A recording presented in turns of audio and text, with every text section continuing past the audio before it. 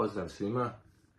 E, razlog zašto pravim ovaj video je danas sam čuo nešto i pročitao i onako e, čuo sam takve stvari prije da se dešavaju, ali nisam nikad prije odlučio da reagujem na to. A razlog zašto sada reagujem je zato što mislim da ukoliko nešto kažem, e, možda neko kome to treba može to čuti i, i, i možda može pogledati život sa neke druge ovaj, tačke ili neke drugačije perspektive.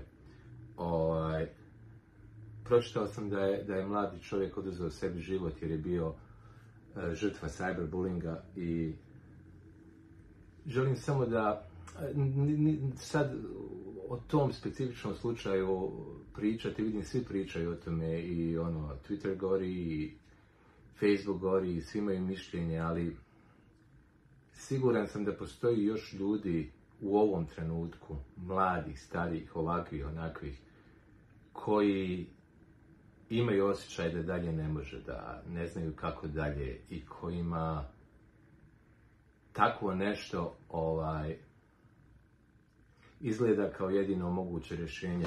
Tako da bih volio da govorim tim ljudima prije svega i volio bi da je ovaj mladić ovaj, imao priliku također da to čuje. Ali eto, možda ima neko drugi ko će ovaj, ko, ko, će naći ovaj video svrsishodnijim. Prva stvar koju želim da kažem je kada, ja to stvarno govorim kao neko ko je javna ličnost i ko je često bio u situaciji da ljudi o njemu kažu ovo ili ono, šta god ljudi govore o vama, oni to govore iz svoje perspektive. Niko ništa nikad ne govori o vama.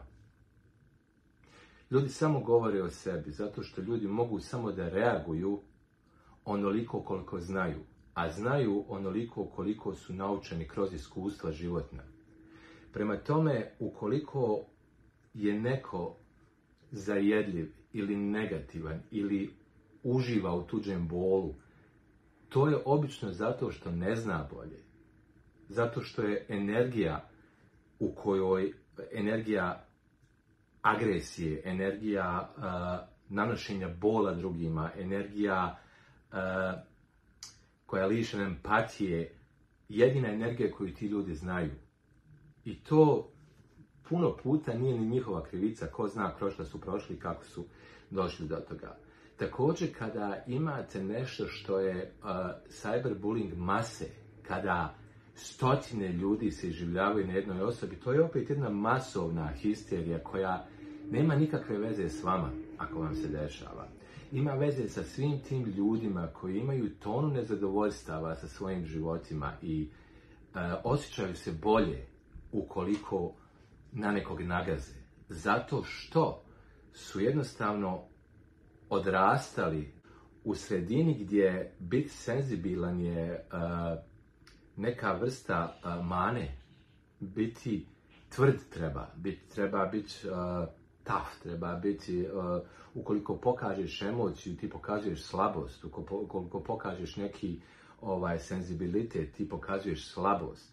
I jednostavno smo tako učeni, pogotovo na, na, Balkanu gdje smo, gdje smo odrastali kao djeca, gdje naša djeca, uh, mnogih, mislim ja sam konkretno, ne živim uh, tamo, ali gdje mnoga djeca danas odrastaju.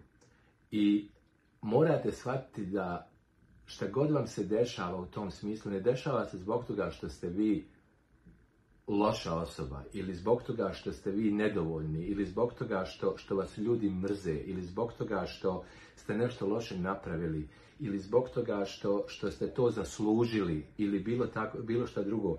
Dešava se zato što u tom trenutku ljudi nemaju ništa pametnije da urade za sebe i ne vide izlaz za sebe pa će nagaziti na nekog drugog. Vi, nikad nećete naći super uspješne ljude da se toliko bave tuđim životima. Oni nemaju kad. Oni se bave sobom. Oni se bave time kako oni mogu da doprinesu nečemu i, i, kako oni mogu da riješe neki problem kako bi oko njih bilo bolje i njima bilo bolje.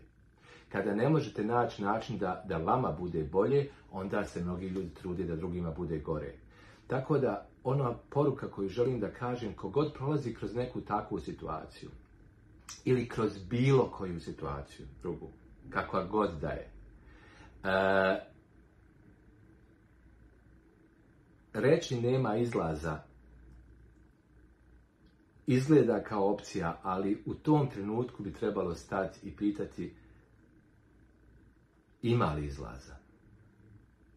Jer kada nema puta, kada nema puta koji naših pet čula može da vidi, e, to su momenti kada, sad zavisi u šta vjerujete, Bog, univerzum, uh, divine power, whatever, uh, to su momenti kada se otvore putevi na koje mi nismo mogli misliti, na koje mi nismo mogli obratiti pažnju jer gledamo stvari preko ovih materijalnih mogućnosti, ako ne mogu namirisati, ako ne mogu osjetiti, ako ne mogu dotaći, nema ga, ali ima ga. I zato se ljudski životi mijenjaju uh, kvantni lipovi se dešavaju od nekog života koji je vrlo u jednom smjeru se promijene u živote koji su u vrlo drugačijem smjeru zato što su se ljudi promijenili. I ukoliko vidite da vam se nešto dešava što, što, što vas dovodi u poziciju ja više ovo ne mogu izdržati, vrijeme je da se pita ko ovo ne može izdržati. Jer čim pitate ko, ko ovo osjeća, možete se odmaći od te osobe koja je povrijeđena, koju boli, koja, koja nema nade, koja je slomljena, koja je izmučena od bilo koga. I kada se odmaknete, vidjet ćete da vi zapravo niste ta osoba. Vi samo imate to iskustvo. Vi ste puno više od toga. Vi ste cijeli svemir. Vi ste preko svemira. Vi ste sve što postoji. Vi samo imate iskustvo ljudsko. I vaše iskustvo će se ogledavati u onome što su vaši izbori.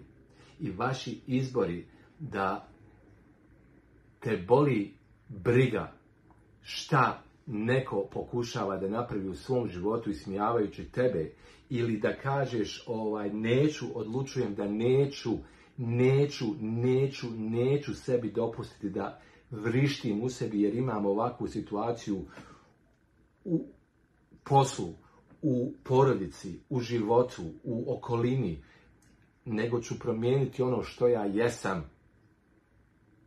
I promijenit ću život svoj do onog momenta kada sam zadovoljan, a da bi ga promijenio moram ostati ovdje. Prema tome poruka je bilo kome ko pomišlja na, na, na, na evo reći ću riječ, samoubistvo. Stanite i samo se pitajte postoji li drugi način. I vjerujte mi da postoji drugi način. I vjerujte mi da ukoliko dozvolite, ukoliko dozvolite, čuda se mogu desiti, ali način e, ne možete dozvoliti ukoliko obraćate pažnju konstantno na stvari na koje ne treba da obraćate pažnju. Niko ne treba da razmišlja, sad ja vidim sad svi hoćemo da promijenimo svijet, kakvi smo to mi ljudi, šta se to dešava, ne, krenimo od sebe, Krenimo od sebe, ne dozvolimo si ni na koji način šta god treba da promijenim, gdje god treba da okrenem, kako treba da razmišljam, gdje je put, koji je način, ali ću, ali ću naći život dostojan mene, šta god ja mislim da je dostojan život.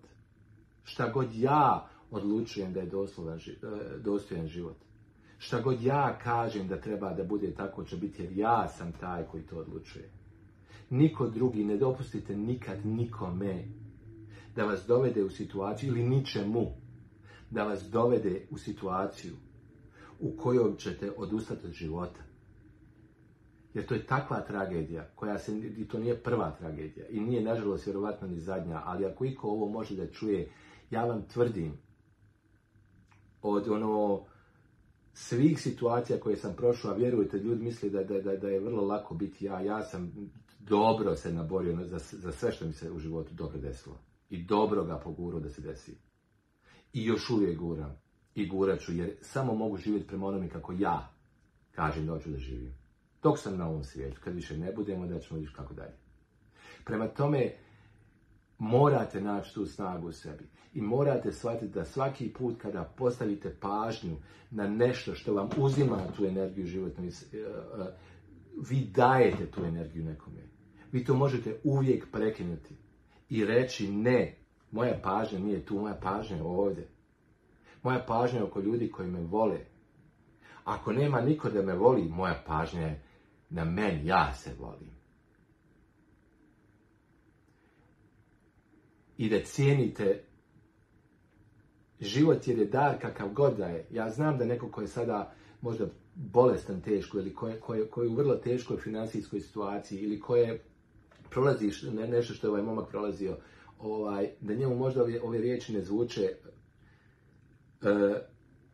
kao istina zato što u ovom trenutku njihovo iskustvo je, je, vrlo intenzivno i vrlo je u tome što se događa sada, kako možeš reći da je dobro kad nije, ali stvari se mijenjaju. To je jedina konstanta, je promjena. Jedina, stalno se nešto mijenja. Vi niste ista osoba koja ste bili prije pet godina, ako jeste. I ako nešto u životu nije kako treba, to znači da se dešava istoj osobi koji, koji nije, nije nešto bilo kako treba i prije pet godina. Promijenimo to. Ne dajmo nikom svoju moć, ne dajmo nikom svoju snagu, ne dajmo nikome da nas dovede u situaciju da nas ubije. Ne dajmo primitivcima mogućnost da nas dovedu u poziciju da ukoliko neko osjeti emociju i bol, da se osjeća slabo i da se osjeća da nije za ovaj život. Jer ovaj život ne bi trebao biti džungla. Vrlo su jasni prirodni zakoni. Vrlo su jasni prirodni zakoni. Ovo govorim za sve nas koji postojimo. Samo nemoj raditi drugim ljudima ono što ne želiš da se tebi uradi. Nemoj to raditi. I ako svako ne uradi ništa loše drugome, odmah ćete imati trajne zemlje. Ali ukoliko vam neko to radi i ukoliko vas neko pritiše nečim lošim, morate shvatiti to, oni ne radi radi vas. Oni to radi radi sebe. Nikad zadovoljan čovjek sobom neće povrijediti nekog drugog. Nikad zadovoljan čovjek sobom neće povrijediti životinju, živo biljku, ništa jer je zadovoljan. I ne dozvolite nikome da vam to uzme i ne dozvolite nikome da vas, da vas, da vas dovede jedan dan da budete u očaju u kojem biste htjeli uzeti svoj život jer je, jer je to pretužno i to je toliko nepravedno i to je toliko suludo. Eto, oprostite ako je bilo predugo i nadam se da će neko u tom naći neku utjehu i samo naprijed.